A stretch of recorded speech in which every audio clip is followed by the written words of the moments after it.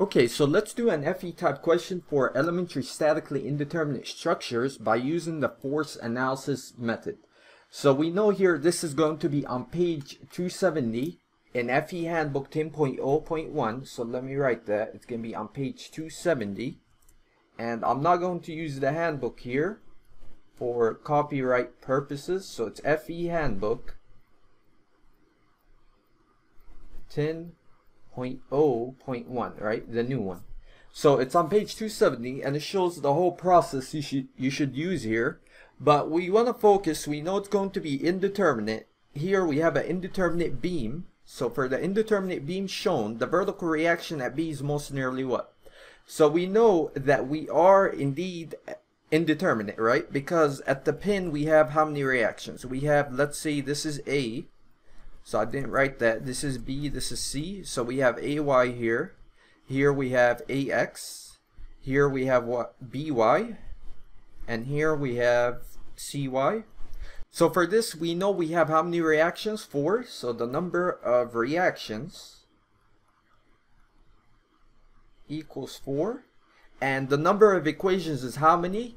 We know we have sum of the forces in the x must equal to 0, sum of the forces in the y equals to 0, and sum of the moment equals to 0, and we have a single beam. So we have one beam, that means we only have three equilibrium equations for that beam, right? So number of equations equals 3. So 4 minus 3 is just going to be what? 1. So our degree of indeterminacy here, degree equals 1 degree of indeterminacy.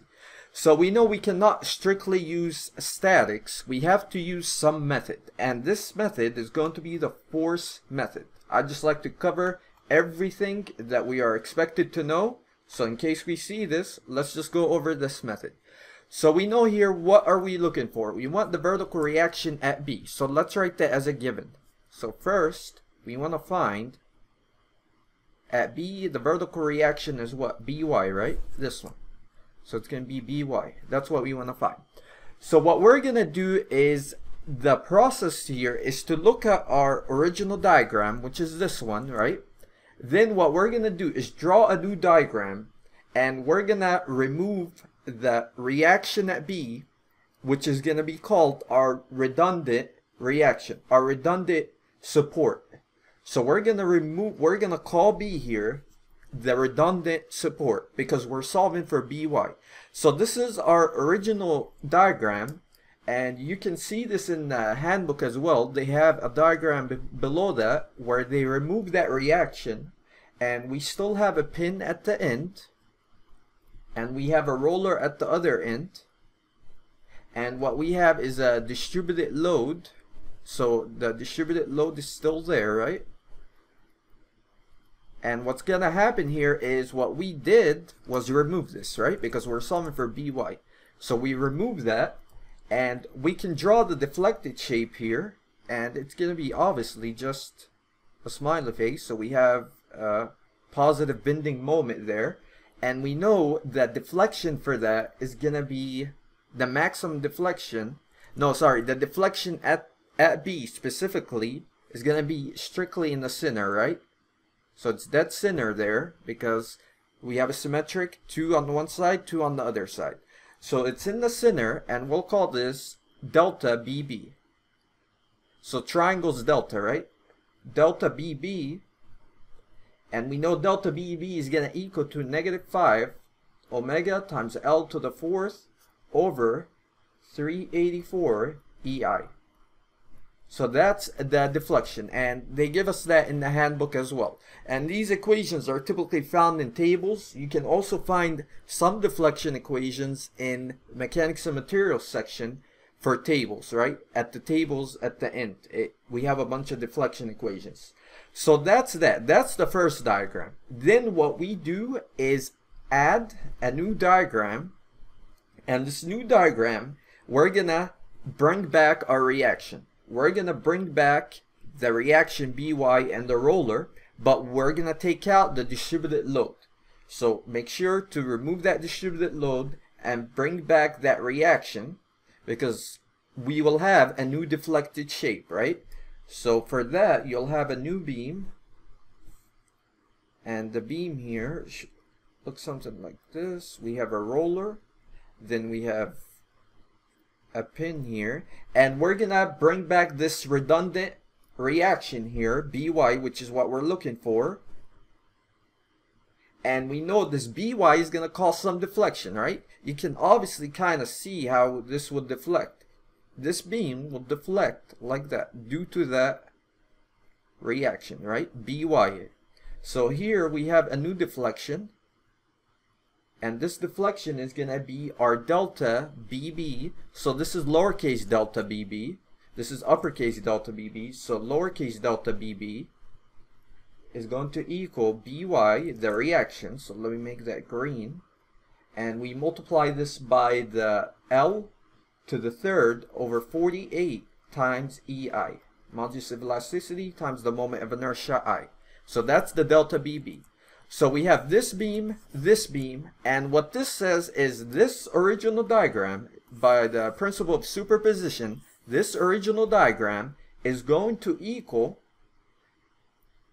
so we have an equal sign here, the original diagram is going to equal to what we have here, to this diagram, plus this diagram. And you can see that this, this deflection is going to cancel out this deflection. So the original diagram equals this plus this, and this is essentially the force method. We call this the force method. So we have the deflection here, we have the deflection, and we know since both of these, this deflection is going to cancel out this deflection, they equal to zero, right? So they equal to zero, so we have zero equals to the deflection delta BB plus the deflection lowercase delta bb. So now all we have to do is solve for that. We know this is what?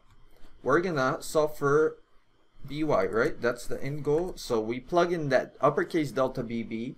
So it's going to be negative 5 times w, which is, what's w here? The distributed load is what? That's given to be 10. So that's 10 kilonewton meter and we multiply 5w L to the fourth, what's the length of that beam? It's going to be 4 meter, 2 plus 2. So 4 meters to the fourth, divided by what? 384 times EI. So EI, I'm going to assume it's constant. Obviously, it's just constant for the whole beam. So we're just going to cancel that, that out as we do the math. So don't forget this negative, right? We have a downwards deflection, and the equation here is negative all I did was use this, and we know this omega, right? It's the 10 that's given. So that's that. Then we do the lowercase delta, so it's plus this equation now. All we have to do is put that in the equation. So we do by, and we multiply this by 4 meter to the third, and we divide by 48 times EI. And what you do here is cancel this, this. We know these are constant. You can cancel these out so you have 0 equals to, so you can move this to the left side and solve for by, right? So it's just simple algebra. I believe you can do this by hand. Let me know if you get what I get. So for by, you should get around 25 kilonewtons. And we just found this reaction, right? So the whole point here is to use this force method because we cannot use statics. We're limited to three equilibrium equations. Here we have four reactions. So we had to use this force, me force method to find By, and with By known, we can finally go back and just use statics. We can find the reactions at the pin. We can find this, this reaction, right? Then at the end we can design our beam by having our shear moment diagrams. So that's all for this one, so it should be D. So don't forget to like this video and subscribe and if you're interested in one-on-one -on -one tutoring you can always reach out to me. Thank you and take care.